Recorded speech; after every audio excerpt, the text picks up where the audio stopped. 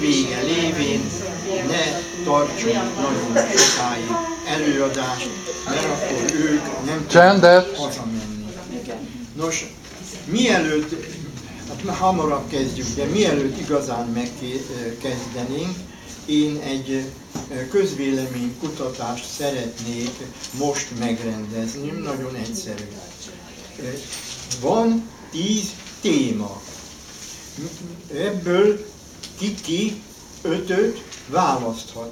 Amelyiket választotta, annak a sorszámát bekarikázza. Nem nagy munka.